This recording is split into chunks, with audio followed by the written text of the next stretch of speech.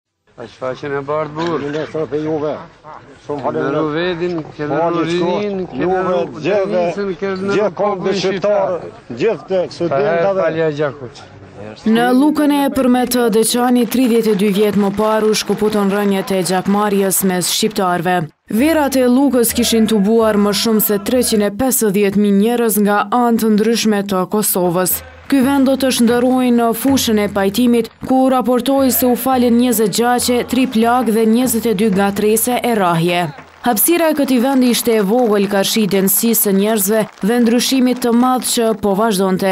Iniciativa që kishte nisur muaj më parë kishte për synim të zgjerohej në mënyrë që deri në gusht të vitit një mijë e nëntëqind e nëntëdhjetë, Të mos ekzistojë hakmarrje mes shqiptarëve. Deri në gusht të këtij viti të mos mbetet asnjë familje pa u pajtuar.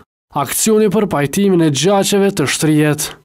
Lluka e Epërme e Deçanit pardje ishte fletë e hapur e historisë, në të cilën hyri populli dhe me fjalë burrash edhe një herë dëshmoi se është i denjë për të ecur krah me botën e civilizuar. Sepse edhe është pjesë e një civilizimi të pranuar kaherë, në thellësi shekujsh të kaluar.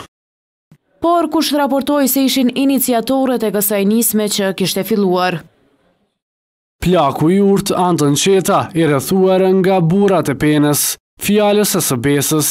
Zekeria Cana, Dom Lush Gjergji, Ramiz Kelmendi, Mujë Rugova, Azem Shkreli e shumë të tjerë, që qëndronin në nderim të burrave, atyre që zgjatnin duart dhe falnin gjaqet.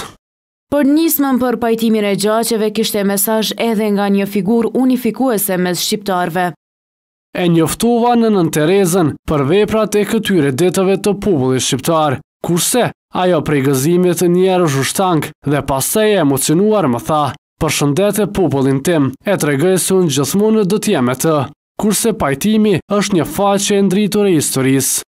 Në këtë numër të gazetës Rilindja raportohej për një numër të madh të familjeve të cilat vinin nga vende të ndryshme dhe që ishin bërë pjesë e faljes së gjaqeve.